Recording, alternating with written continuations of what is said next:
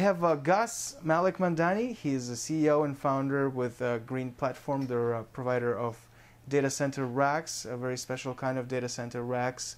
They're based in uh, Mountain View, California, which is where we're at at the moment. Gus, hi, and thank you for joining us. Hi, Evgeny. Uh, so uh, tell us about the rack. We have uh, designed a specific anti-vibration rack to improve storage performance. We're taking advantage of carbon fiber composite uh, to mitigate vibration that uh, normally exists in data centers.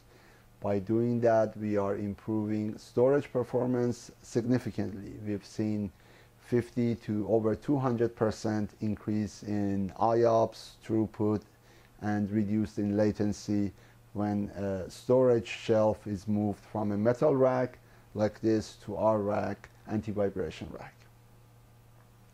Um, and tell us how uh, how does the the green platform anti-vibration rack uh, work, and how does it help reduce vibration? Sure.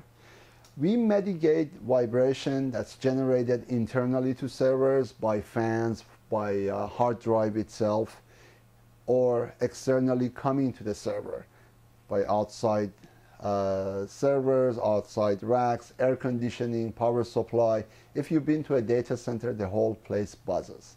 It's uncomfortable for human and for hard drive. Vibration causes latency in hard drive performance.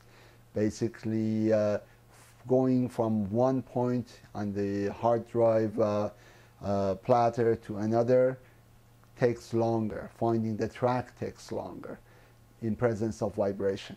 And what we are doing is uh, dissipating vibration passively, allowing the hard drive to work the best way it can.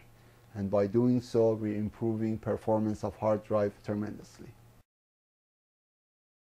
This is a, a 2U storage uh, unit that we have uh, racked in our um, one of our prototype anti-vibration rack. Um, we've used the uh, slide rail kit industry standard to install this, this unit. Uh, if you note, we are holding the storage rack in four corners by our special carbon fiber anti-vibration rack, which are there as a filter to absorb and dissipate vibration internally generated coming there or externally coming to servers. And uh, uh, the, the rack body is standard, the width is a standard, so any, it's a 19 inch, um, if you would, standard rack. And any storage server that's racked in a metal rack can be installed in our rack. And uh, benefit from a very quiet environment to uh, eliminate vibration and uh, increase uh, hard drive storage performance.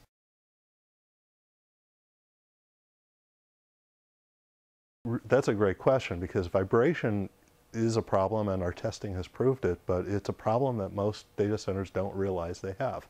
Uh, nine out of 10 data centers, if you ask them if they have a vibration problem, they'll say no. But what they do understand is that they have a, a storage performance bottleneck. They understand that they, they need more IOPS.